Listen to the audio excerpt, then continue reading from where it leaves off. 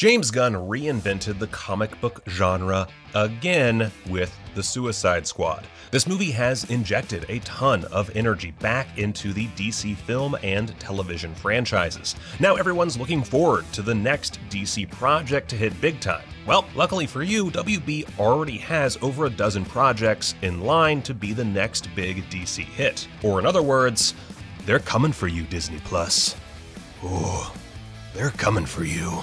You die. The most exciting DC project coming post The Suicide Squad is without a doubt the one the movie directly set up. James Gunn will be following up his first film in the DCEU with his first show in the DCEU, one centered around Peacemaker.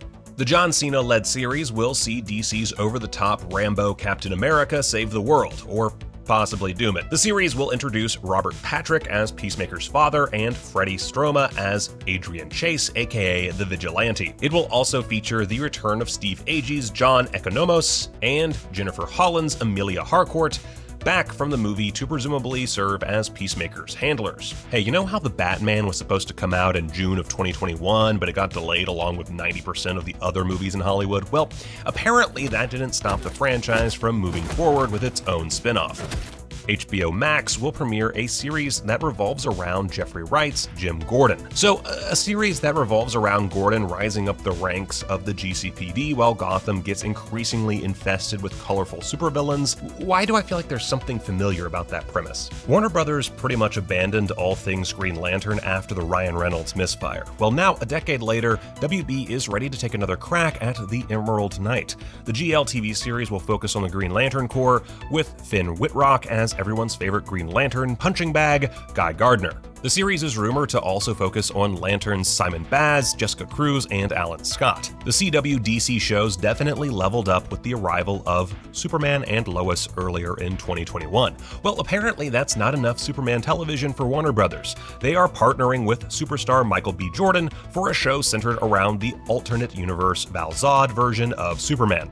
Little is known about the series so far, but speculation is running rampant across the internet. I've even seen some speculate that Val Zod will be combined with the Calvin Ellis Superman for the series. President Superman, anyone? Eh? Eh? While DC has had a lot of success adapting the comics for television with hits like Smallville, Arrow, and Titans, for my money, the greatest DC adaptation for the small screen is Batman the Animated Series and its various spin offs by Bruce Timm. I know, I know that's a controversial choice.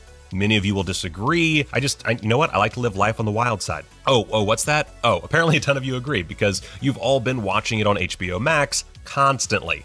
This has made WB take notice, and they have decided to reteam with Timm for a new Batman series called Batman the Caped Crusader. This time, he will combine his animation talent with Matt Reeves and J.J. Abrams for a brand new retro styled Batman show.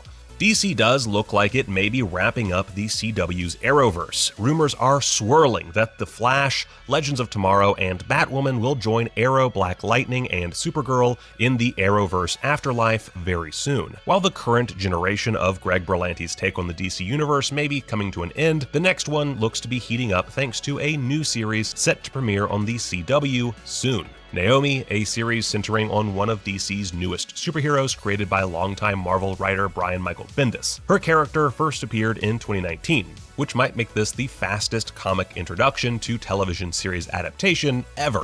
The low key most exciting development in DC television's future is the building of the Justice League Dark. J.J. Abrams will be building out a new corner of the DC universe centering on magical DC superheroes like John Constantine, Zatanna, Deadman, Dr. Fate, Madame Xanadu, Swamp Thing, and more. This team was created as part of the New 52 and has quickly become a fan favorite. Before you get too excited, though, we've heard rumblings about an adaptation before, and my heart is still broken about that Guillermo del Toro movie. As part of the big Justice League Dark push, John Constantine will be up to bat for a second time with his own live action series.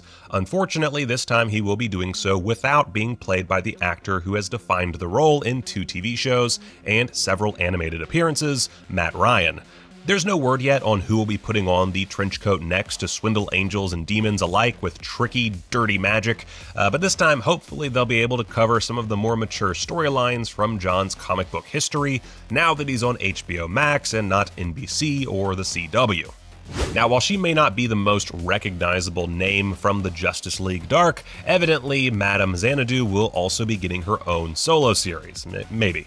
If you're not familiar with her from the comics, she is an immortal sorceress and fortune teller dating all the way back to King Arthur. We're still not sure what the stories will be about, but it will almost definitely be dark, twisty, and horrific. The Suicide Squad isn't the only Harley Quinn focused series that has inspired DC for the future. The success of the Harley Quinn animated series seems to have pushed WB to drop an onslaught of new animated shows. One of those is the new anthology series titled Strange Adventures.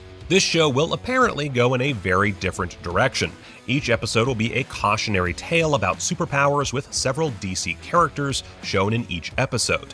Throughout the series, though, the major character will be the intergalactic adventurer Adam Strange. Apparently, Strange is a very common last name in superhero circles. Elizabeth Banks will be behind the animated series DC Superhero High, which will focus on adolescent superpowered students who don't realize that they will one day become legendary superheroes. Actually, you know what? It sounds like uh, Sky High. It sounds like Sky High, which I mean, man, I would love a Sky High series. Yeah, let's do this. Okay, cool. I'm actually, I'm really on board with this one. Before the Suicide Squad premiered, one of WB's most surprising hits was James Wan's Aquaman. Well, Wan is headed back under the sea with Aquaman, King of Atlantis. The animated series seems to be somewhat inspired by the Jason Momoa adventures, but it will not be a continuation of that film's stories. It will feature Mera, Vulko, and Ocean Master aside from just Aquaman. There's no word on whether or not he'll be riding on a giant seahorse like in his first cartoon. Personally, I I hope so. Do you remember Cars? Well, DC looks like it's basically taking that exact concept and putting a Batman spin on it. The animated show Batwheels will be focused. Really? Batwheels? Okay, whatever. Will be focused on the various Bat vehicles like the Batmobile as they cruise through Gotham City solving crimes. Come on, are we serious? Is this really a thing? Who wants to bet that this show, like Cars before it, will primarily be centered around creating a ton of colorful car toys more than it will be about wild new Batman adventures? I mean, I will 100% be buying all of those colorful toy cars. Uh, you, you can't say they don't know their audience. As a big fan of the original Teen Titans animated series, I didn't ever think I was going to like Teen Titans Go. As the show moved along, though, eventually it won me over with its willingness to poke fun at itself, the constant DC references, and Beast Boy's impressive R&B skills. The show will continue with The Night Begins to Shine. The spin-off will return us to the land of the Night Beings for more musical adventures with the Titans. So in other words, it will probably be the exact opposite of the other Titan show on HBO Max. And finally, is there such a thing as too many Superman shows? Well, according to the WB, the answer is absolutely not, baby. We love cash money. Aside from their current Superman show and their future Superman show, WB has announced a third series this one animated. It will focus on Lois and Clark's budding relationship as they go on adventures with Jimmy Olsen.